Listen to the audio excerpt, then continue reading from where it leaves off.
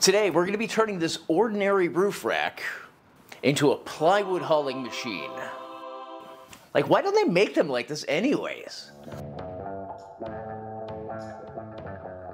I have a few requirements that this project must meet. It needs to use the existing rack. Now I need to carry full plywood sheets, and I don't want to bother people with pickup trucks to haul for me. I also don't want a much larger footprint on the truck. So it needs to be expandable, out to more than 4 feet. Right now, if I go to get plywood, I have to have them cut it in half at the home center so I can get it home. Now I don't really have any place to put panels presently, except for like right over there, in front of everything. But that's a job for another day. It also needs to be somewhat quiet. If it's expandable, that means something is going to be able to move around because something needs to expand, something needs to move, and it's likely going to be metal on metal. I'll show what I mean by this later on in the video when I prototype this out, and also how I fix this issue. It also needs to be easy to use. Ratchet straps are already a pain in the butt to use. You have to take them out, you have to unwind them, you have to hook on one side, you have to them on you have to and then deal with the little floppy thing in the end. And I just don't want the expandability of this thing to take a long time either. It also needs to be secure. Right now, I only really have these two tie downs in the middle of the rack here, so that really rules out taking big pieces of anything on the highway. Bit of smoke! I've had this roof rack for over seven years from my Nissan Xterra. It was made by a company called Depep, which I think is now defunct. It has not come off the truck in that time, so it's rusted out and definitely, definitely needs to be repainted. Also, my roof rack has all that time's worth of lichen growing on it, so it's never been scrubbed. Ugh.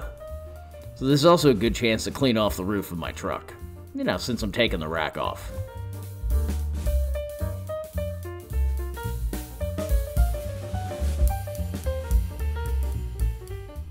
Here, you can see me trying to figure out how to get 50 plus pounds of steel off my roof without, you know, catching it in my face. My teeth are already bad enough as it is. They are, um, hockey player chic, and I have a face built for radio. So I don't need any more damage done there, make it any worse than it already is. Now that I've got that off the roof, I'm gonna give the bolts and bits an evaporust bath, and then give them a paint job. But first, I have to do a little cleaning up off of these brackets that hold the roof rack on top of the truck.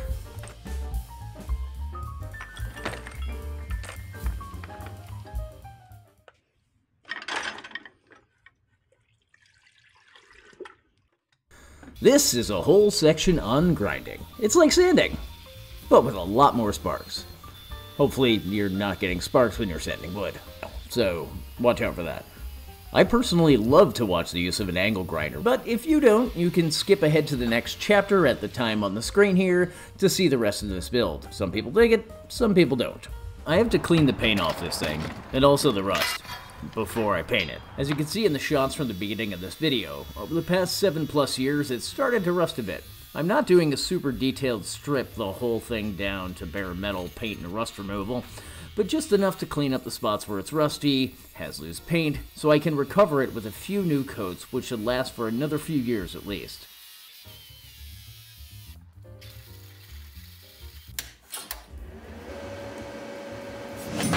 And here I'm starting to weld on the main crossbars. I say main like there's other crossbars, like no, it's just these two crossbars. There's no other crossbars. I absolutely love welding. I like that you can take two pieces of metal and join them together.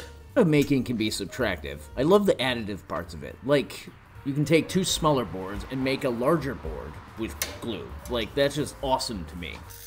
And again, metal. To be able to take two pieces of metal and join them together. Let's just call it what it is. That's just fudging. Cool.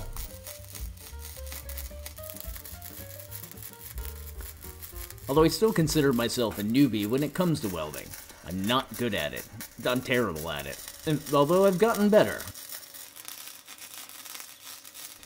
Going to hit pause here for a minute before I attempt to hide my crimes by grinding out these welds. Just look how terrible this weld is. Is it me? Is it the type of welding? Yes, it's partly me, it's partly the type of welding, FCAW. I'll link to a couple videos down below of some other great creators that covered FCAW welding. That'll do, pig. That'll do. But this is actually a good weld, and it'll hold. So, don't be disappointed if your welds look janky like this. You can grind them out and make them look pretty.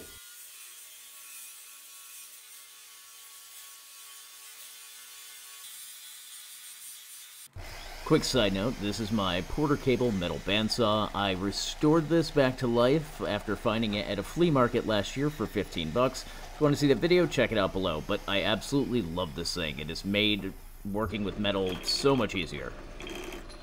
Helps to have that bit chucked in there securely, I guess. Here I'm making a test piece of the mechanism I'm going to use. This is just a prototype before doing the full thing. First cut some 6 inch pieces of 1 inch and 3 quarter inch tubular steel respectively and drilled a 3 8 inch hole into each. Now here is the genius bit about this whole contraption. It's one of those press button spring snaps like you see on tent poles and kayak paddles.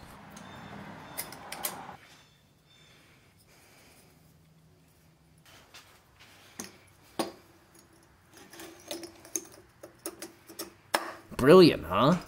I'm not one to toot my own horn here, which is why I definitely don't have an entire YouTube channel showing off the things I make, or an Instagram account. Doing some layout here with some blue Dykem and a pair of dividers. I've actually had this blue Dykem forever, but I always forget about it. A Sharpie would have also worked, but this just feels more legit.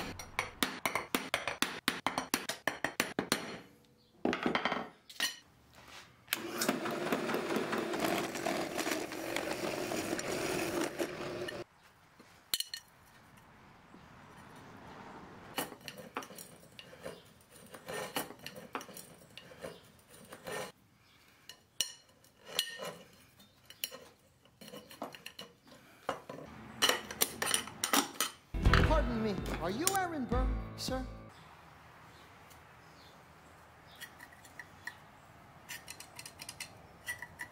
Again, now that I know that this mechanism works, I need to cut off about a foot on either end of the crossbars. I didn't know beforehand if this would work, and I could do the extendableness of them, so I left them at their full 6 foot length and could always just use them as is. Just using a file here to remove the sharp edges and round out the ends of the bar a bit. I don't want it getting all rough and cutsy.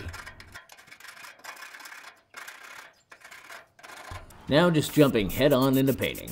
Spraying down the ends to help cover the bare metal inside to help prevent rust. This is going to live outside and on the top of my truck.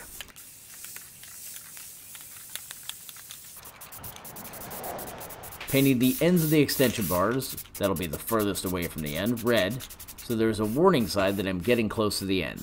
Not that it's an issue if it does come out all the way, they pop back in easily enough. Just looking out for future me. Garage workshops, am I right? The joys of sharing shop space with trash. In this case, the actual trash, not my hoarding haven of trash. That is special trash.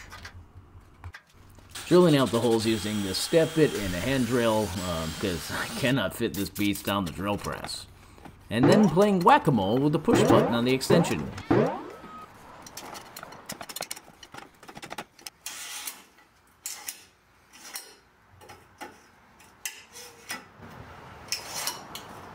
Gonna keep this very brief. Brilliant.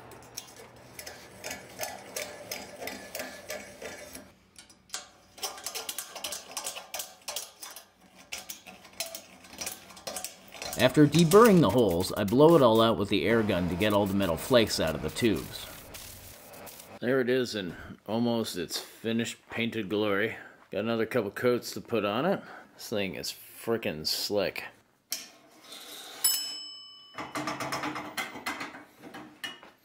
Huh?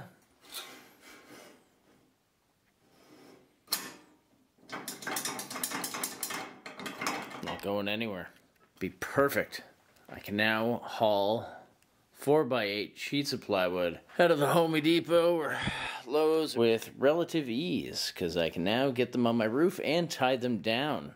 Here is how I'm going to handle the looseness and loudness of having the 3 quarter inch steel tubing inside of the 1 inch steel tubing by using this 1 and a quarter inch heat shrink tubing.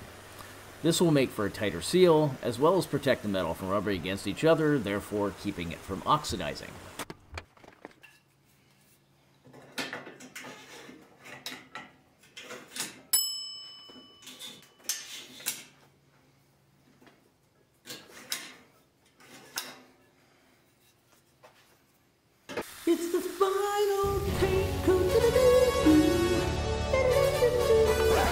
Sorry about that. But I was super stoked to actually get here in this project. Since I'm almost about to put the final paint coats on, that means we're almost done. So that means soon I will have the capacity on my truck for the first time since owning it to be able to carry full sheets of plywood. This is awesome.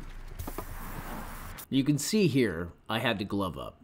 Now, I absolutely love this spray paint. It goes on almost like a powder coat and sticks really good to just about any surface. However, the nozzle design is absolute sh and that's if it even works. And you can't swap them out that I'm aware of. As I'd had a couple fail to work, there is exactly a 50% chance that it's going to leak everywhere.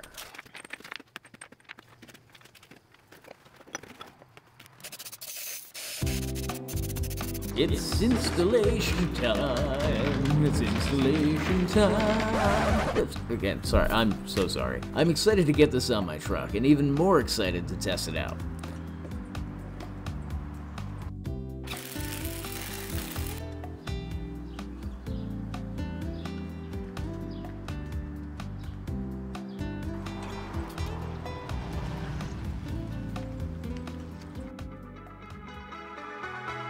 And while we're talking shop here, as you watch me put this thing back onto my truck, and we're not done yet, so don't go anywhere. If you like this video, please consider subscribing, or even checking out some of my other videos. I check my numbers often, and every single time I see that subscriber count number go up, just one, it makes me well up a little inside. That someone thinks enough of the work that I've done to maybe stick around and see what I do next, or how I'm possibly going to injure myself or at least just wants to be a part of our little club here. Thank you. Seriously, seriously, it means so much. Thank you. And yes, I keep calling my vehicle a truck. Technically, it's an SUV, but it is built on the Frontier pickup truck frame, so it is a truck. I'm not talking about the small crossovery things as trucks.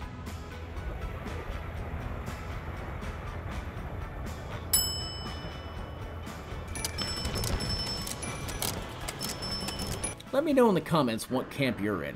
Respectfully, of course. If mid-sized to large SUVs are considered trucks in your opinion, or if they aren't. You know where I stand. Now let's review our checklist and make sure we got all the requirements that we needed to hit for this project.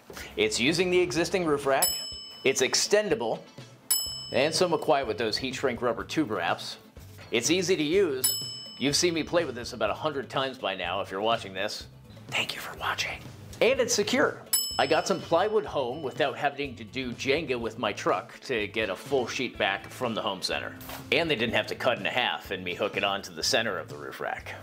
And we have a bonus for this one. It's heavy duty as well. Most aftermarket racks you can get for your cars, you can get them in steel, but most aftermarket racks are made of aluminum.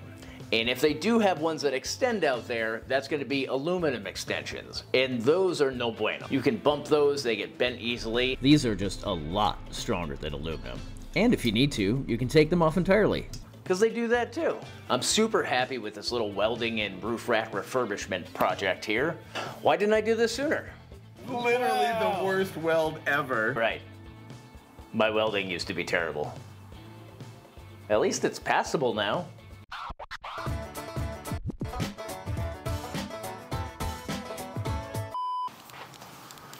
Thanks for watching. Thanks for watching. Thanks for watching. Thanks for watching. Thank you for watching. Hi, I'm Troy McClure. Hi, I'm Troy McClure. You might remember me from such videos as this one. Thank you for watching.